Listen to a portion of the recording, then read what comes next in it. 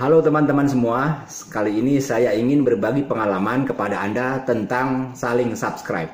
Pernahkah Anda merasa sering melakukan subscribe, tapi pendapatan Anda eh, tidak bertambah-tambah atau tidak sesuai? Anda terlalu banyak ngesup, tapi yang ngesup Anda sedikit. Misalnya saya pernah mengalami eh, ada 100 channel yang saya sub, tapi yang balik cuma 20 30 tidak sesuai dengan pengeluaran. Sebenarnya apa yang terjadi? Banyak hal yang menyebabkan terjadinya kegagalan saling subscribe. Namun saya kasih tahu yang contoh satu saja ya biar videonya tidak kepanjangan.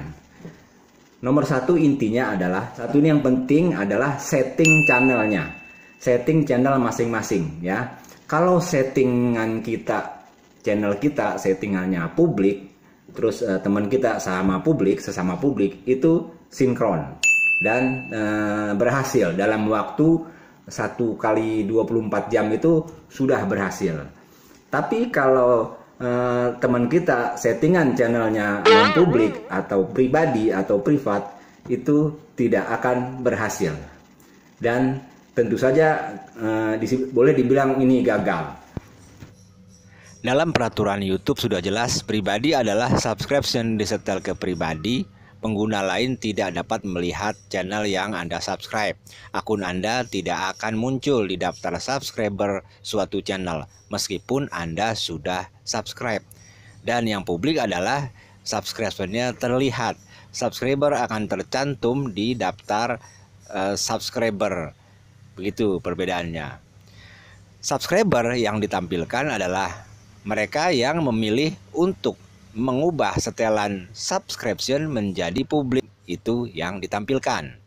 Sedangkan yang tidak ditampilkan adalah mereka memilih untuk tetap mengatur setelan subscriptionnya ke pribadi. Jadi tetap mengatur setelannya ke pribadi. Begitu teman-teman.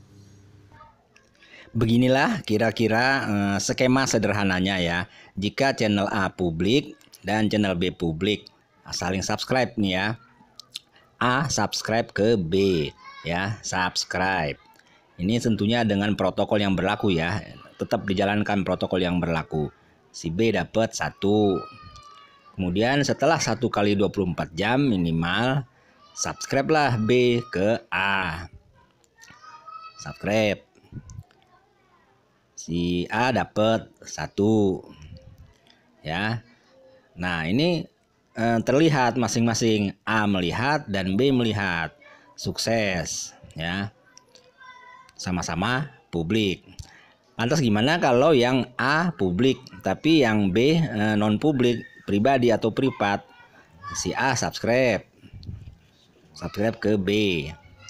B dapatlah satu ya. Nah terus uh, si B subscribe ke A.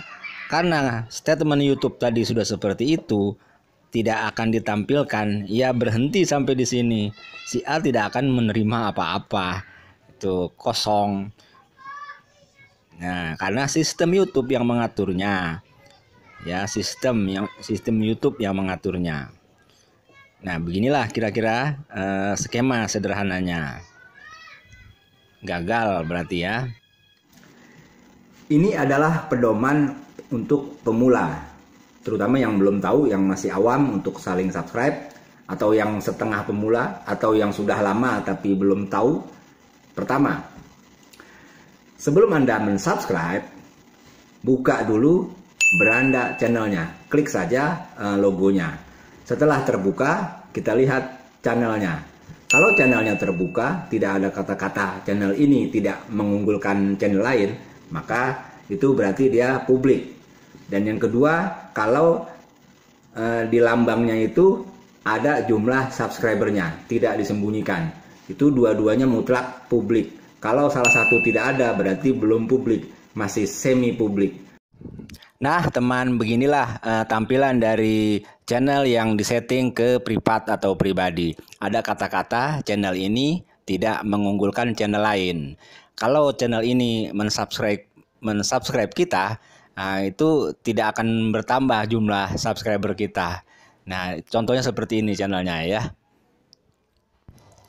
Nah, akhirnya terjawablah teman-teman eh, mengapa saat itu saya eh, banyak subscribe tapi yang balik cuma sedikit. Rupanya saat itu adalah ketidaktahuan saya eh, mensubscribe channel-channel yang seperti itu.